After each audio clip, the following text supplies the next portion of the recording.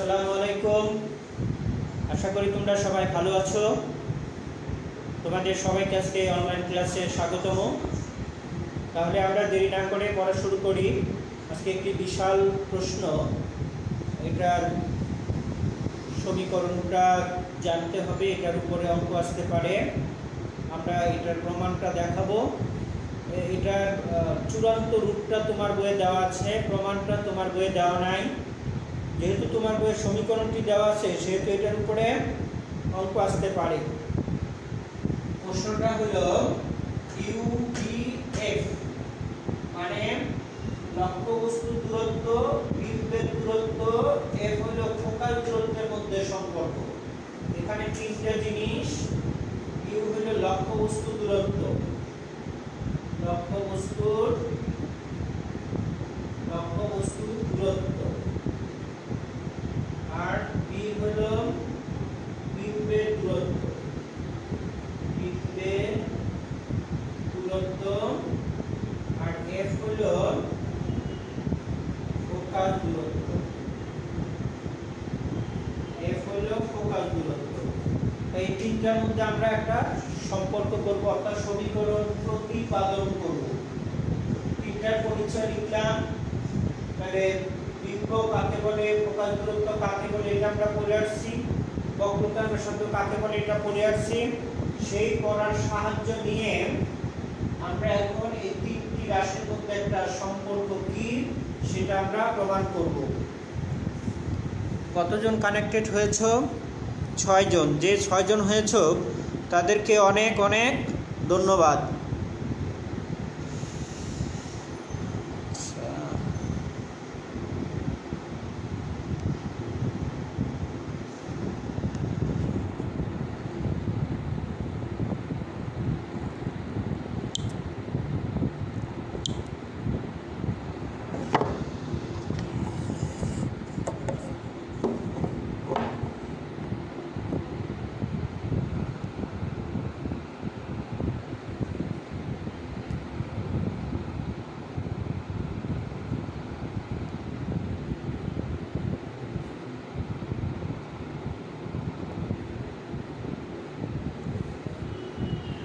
তাহলে আমরা দেখি, এক মিনিটের একটা বিবরণ দেই। এম ও এম প্রাইম একটি অবতল দর্পণ। এম ও এম প্রাইম একটি অবতল দর্পণ। পিও একটি প্রধান অক্ষ। এম ও এম প্রাইম একটি অবতল দর্পণ। পিও প্রধান অক্ষ। সি বক্রতার কেন্দ্র। সি বক্রতার কেন্দ্র, বিবরণটা মনোযোগ দিয়ে শোনাও আমি পি বিন্দুতে একটি লক্ষ্য বস্তু রাখলাম। কোথায় রাখলাম? পি বিন্দুতে একটি লক্ষ্য বস্তু রাখলাম। তার মানে পি বিন্দুতে একটি বিন্দু লক্ষ্য বস্তু রাখলাম। বিন্দু লক্ষ্য বস্তু মানে যে বস্তুটা বিন্দু নেয়। পি বিন্দুতে যে লক্ষ্য বস্তুটা রেখেছিলাম, সেখান থেকে একটি আলোক রশ্মি এম বিন্দুতে গিয়ে আপতিত হলো। পি বিন্দুতে যে লক্ষ্য বস্তুটা রেখেছিলাম, সেই লক্ষ্য বস্তু থেকে একটি আলোক এম বিন্দুতে গিয়ে আপতিত হলো।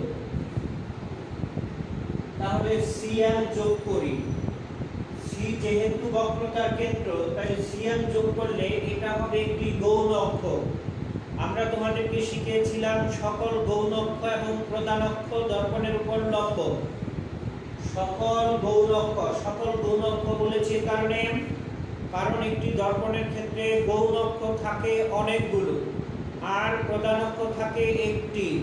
তাহলে সকল গৌণ অক্ষ এবং প্রধান অক্ষ দর্পণের উপরে যদি লম্ব হয়, তাহলে এটা এখান থেকে একটি আলোক রশ্মি গেছে, তার মানে এটা আপতিত রশ্মি সিএম হলো লম্ব, তার মানে এই কোণটা হলো আমার আপতন কোণ তার মানে আপতিত রশ্মি অবিলম্বের সাথে যে কোণ উৎপন্ন করে, সেই কোণকে বলা হয় আপতন কোণ আপতন কোণকে আই দ্বারা প্রকাশ করা হয়।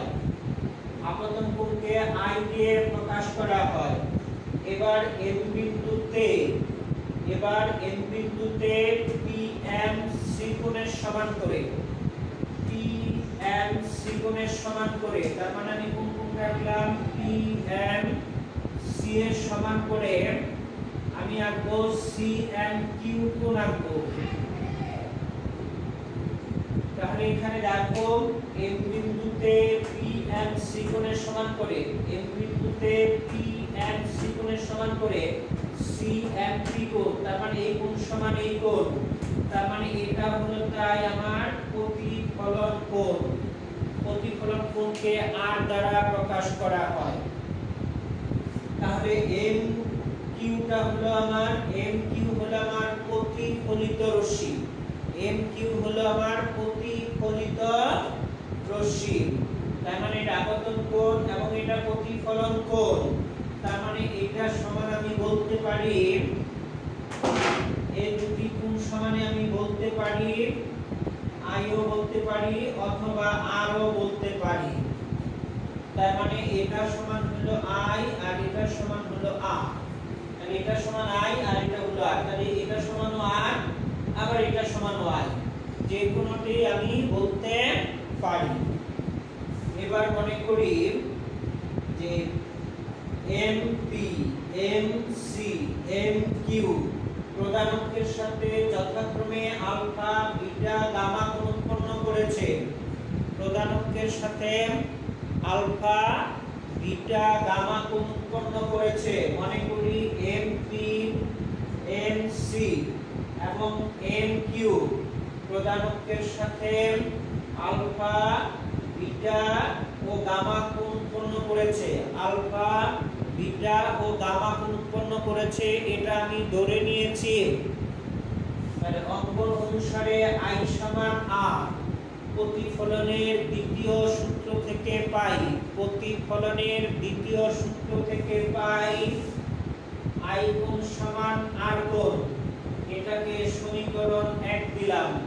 প্রথমে পুরো বিবরণ দিব। এতক্ষণ যা বললাম, এই বিবরণ দিতে হবে।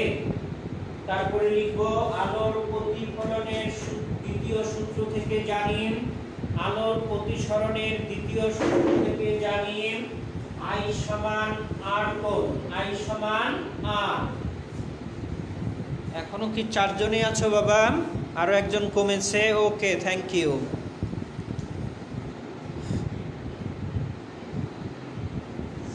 এবার দেখো, তাহলে প্রতিফলনের দ্বিতীয় সূত্র থেকে জানি আই সমান আর কোণ আই সমান আর কোণ এবার আমার একটি উপপাদ্য আলোচনা করতে হবে।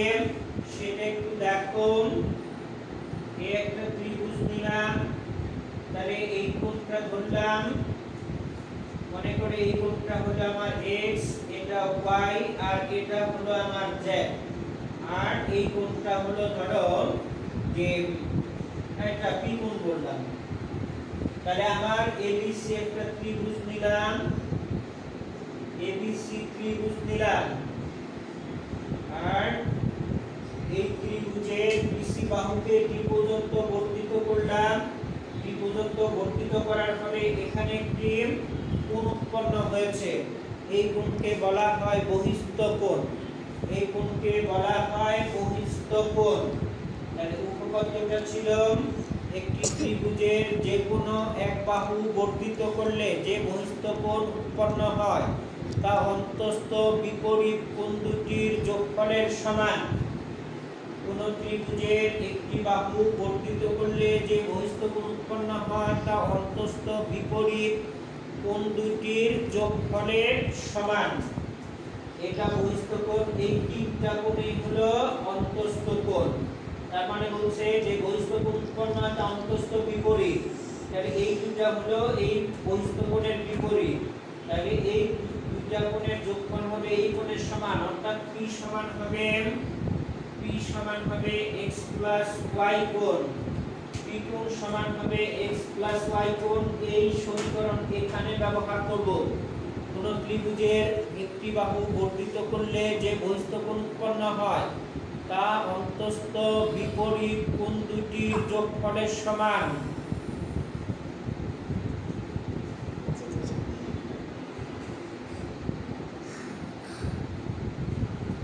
কোন ত্রিভুজের একটি বাহু বর্ধিত করলে যে কোণ উৎপন্ন হয়, তা অন্তস্থ বিপরীত কোণ দুটির যোগফলের সমান।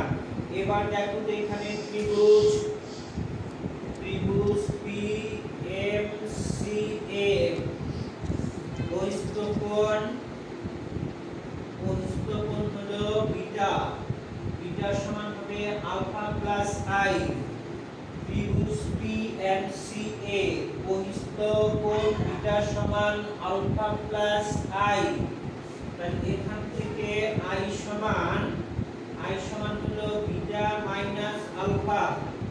আই কোণ সমান বিটা মাইনাস আলফা। আই কোণ সমান বিটা মাইনাস আলফা। আবার,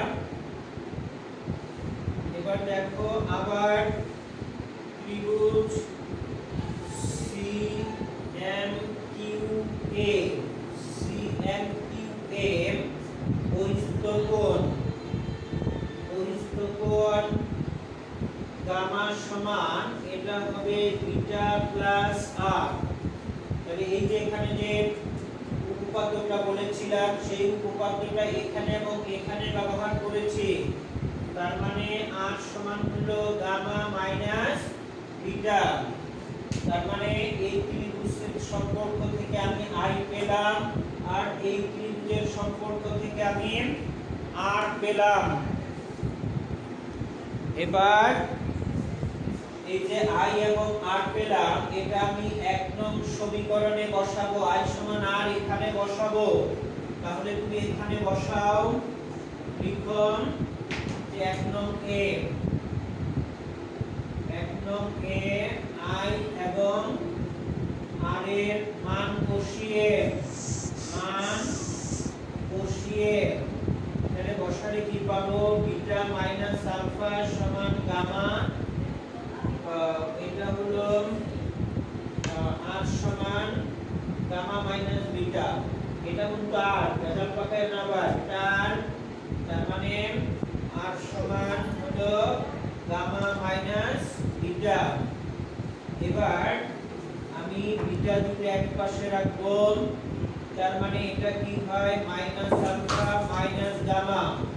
Minus beta minus beta. তার মানে এখান থেকে মাইনাস কমন গেলে আলফা প্লাস গামা সমান 2 মাইনাস 2 বিটা। উভয় পাশে মাইনাস চলে গেলে আলফা প্লাস গামা সমান বিটা। এবার সর্বশেষ পেলাম আলফা প্লাস গামা সমান বিটা পেয়ে গেলাম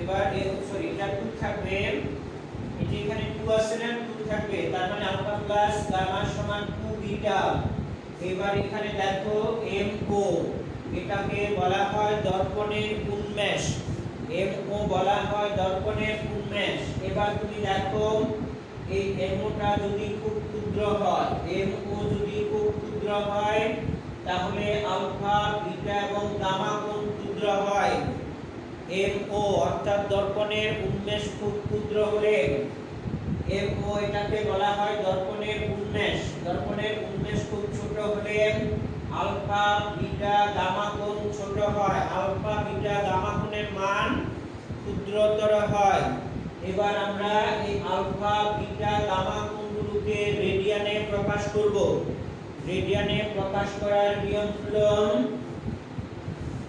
প্রতিটি এই কোণের সম্মুখ অর্থাৎ এই পরিধিকে পরিধিকে ব্যাসার্ধ দিয়ে ভাগ করলে কোন রেডিয়ানে প্রকাশ হয়। অর্থাৎ পরিধিকে, কোণের পরিধিকে ব্যাসার্ধ দিয়ে ভাগ করলে, কোণের পরিধিকে ব্যাসার্ধ দিয়ে ভাগ করলে কোন রেডিয়ানে প্রকাশ হয়। অর্থাৎ পরিধি এবং ব্যাসার্ধের অনুপাত হলো ওই রেডিয়ান কোণ। এবার আমরা বলব, দর্পণের উন্মেষ খুব ক্ষুদ্র হলে অর্থাৎ এমন খুব ক্ষুদ্র হলে আলফা বিটা গামা কোণ ক্ষুদ্র হবে? এবার কোনগুলোকে রেডিয়ানে প্রকাশ করে পাই? কোনগুলোকে যদি রেডিয়ানে প্রকাশ করো, তাহলে এখানে পাবো MO by PO. MO by PO, তার মানে এই যে আলফা কোণেরটা গেলাম। এবার হলো গামা কোণ, এখানে মাঝখানে চিহ্ন কি? প্লাস প্লাস দিলাম, এখান থেকে আসছে এবার গামা কোণের জন্য দেখো, এটা গামা কোণ এই কোণের জন্য পরিধি এমও পরিধি এম ও আর এটার জন্য ব্যাসার্ধ হলো ও কিউ সমান গেলাম। এবার এখানে হলো 2 বিটা 2 বিটা, তার মানে 2 রেখে দিলাম। এবার বিটা কোণের জন্য পরিধি হলো এমও বিটা কোণের জন্য পরিধি এমও আর বিটা কোণের জন্য ব্যাসার্ধ হলো সিও বিটা কোণের জন্য ব্যাসার্ধ সিও প্রথমে ছিল আলফা কোণ আলফা কোণের জন্য পরিধি হলো এমও আর ব্যাসার্ধ হলো ওপি তার মানে এখান থেকে যদি দেখি, এই যে এখান থেকে প্রথমে এটা ছিল আলফা, তাহলে এটা হলো ব্যাসার্ধ আর এটা হলো বৃত্তচাপ। এটা কি? বৃত্তচাপ। তাহলে এটা কোণের জন্য যে চাপ তার মানে এটা হলো ব্যাসার্ধ আর এটা হলো চাপ। চাপ এবং বৃত্তচাপ এবং ব্যাসার্ধের অনুপাত হলো রেডিয়াল কোণ তাই আমি কোণগুলোকে রেডিয়ানে প্রকাশ করলাম? উপরে সবগুলোকে এটা চাপ নিয়েছি। দেখো, এখানে আলফা, বিটা, গামা তিনটা কোণের জন্যই চাপ কি? এমও। তিনটি কোণের জন্যই চাপ এমও। আর আলফা কোণের জন্য ব্যাসার্ধ হলো পিও, বিটা কোণের জন্য ব্যাসার্ধ হলো সিও, আর গামা কোণের জন্য ব্যাসার্ধ হলো ও কিউ এবার দেখো, সবগুলোর উপরে এমন সেটা চলে যায়, তার মানে 1 থাকে এখানে পিও প্লাস 1 থাকে এখানে ও কিউ আর এখানে থাকে 2 বাই সিও 2 বাই সিও এবার তোমরা দেখো পিও এখানে আমি লক্ষ্য বস্তু রেখেছিলাম, আর এটা হলো মেরু বিন্দু তাহলে আমরা জানি দর্পণের ক্ষেত্রে সকল দূরত্ব পরিমাপ করা হয়।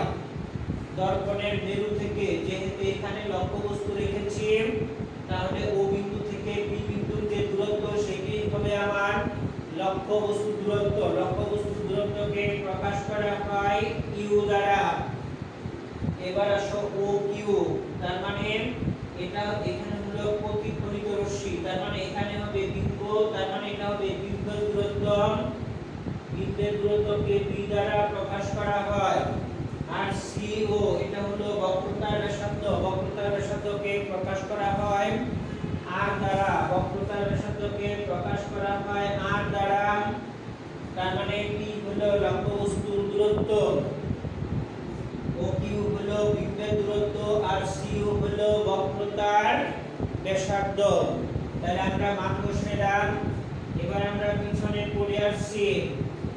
1 বাই b সমান 2 বাই 2a আর সমান 2a পড়ে আসছি, অর্থাৎ বক্রতার ব্যাসার্ধ ফোকাস দূরত্বের দ্বিগুণ। বক্রতার ব্যাসার্ধ ফোকাস দূরত্বের দ্বিগুণ আমরা পড়ে আসছি। তাহলে এবার দেখো, এখানে 2 2 কাটা যায়, তাহলে থাকে কি? 1 by u plus 1 by b সমান থাকে 1 বাই a সমান থাকে 1 বাই a তাহলে এই বিগুলো আমার নির্ণয় সমীকরণ।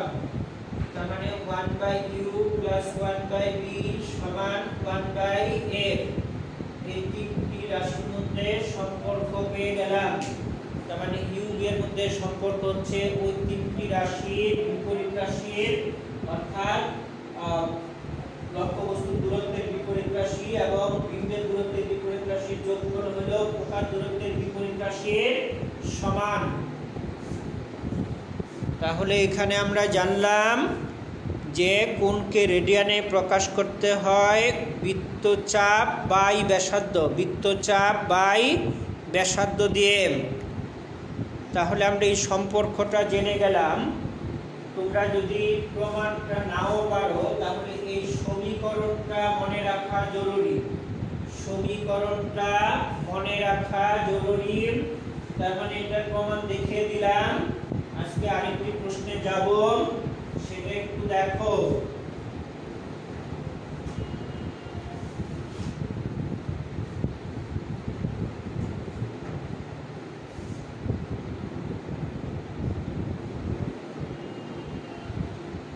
এবার হলো দেখাও যে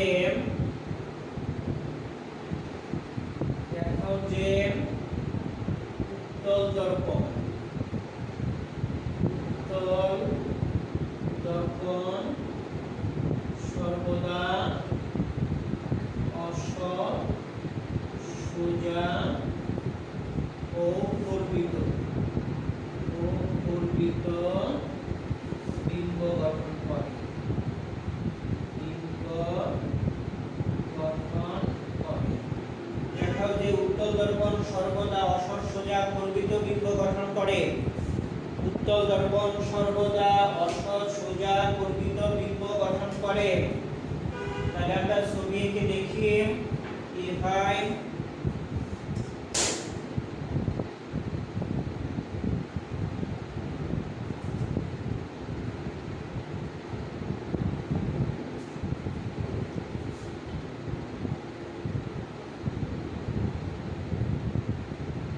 আমরা আগে যতগুলো দেখিয়েছিলাম সবগুলো দেখিয়েছিলাম অবতল অবতলের ক্ষেত্রে আমরা ছয়টি ছবি এঁকেছিলাম আজকে আঁকবো আমরা অবতল অবতলে সরি উত্তল উত্তলের জন্য শুধু একটি হবে এখানে লেখি আছে উত্তল দর্পণ সর্বদা অসর সোজা কর্পিত বিম্ব গঠন করে আমি প্রধানত্বের উপর যে কোনো জায়গায় রাখি না কেন এই তিনটা শব্দ মেনে চলবে যেহেতু একই জিনিস ঘটে এই জন্য চিত্র একটি হবে? এবার এটা হলো আমার এফ আর এটা হলো আমার সি এবার এখানে আমার একটি লক্ষ্যবস্তু রাখলাম। এই লক্ষ্যবস্তু রাখলাম।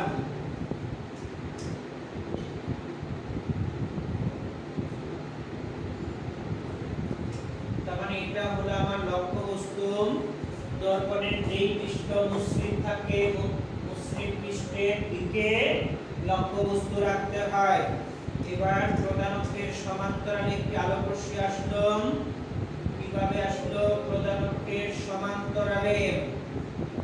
প্রধান অক্ষের সমান্তরালে আলোক রশ্মি আসলে সেটা ফিরে যায় কোন বরাবর? প্রধান ফোকাস বরাবর ফিরে যাবে। তাহলে এটা এই পথে যাবে।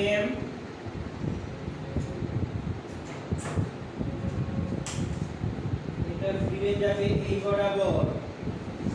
এদিকে ডক্টর দিলাম আরেকটি আলোক রশ্মি আসলো। বক্রতার কেন্দ্র বরাবর। বক্রতার কেন্দ্র বরাবর আসলো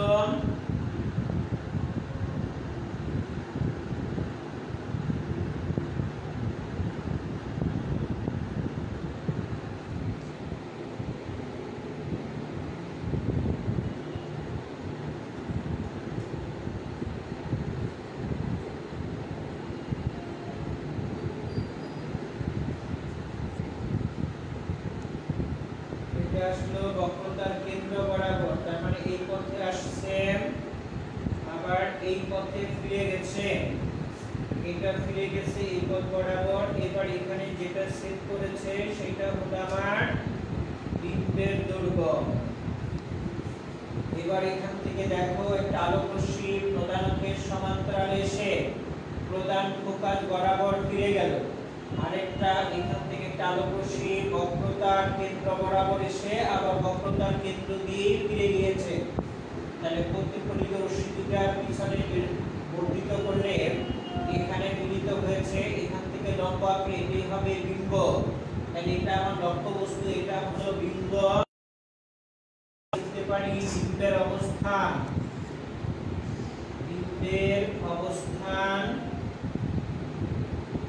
বিম্বের অবস্থান হবে এফ ও পি এর মধ্যে।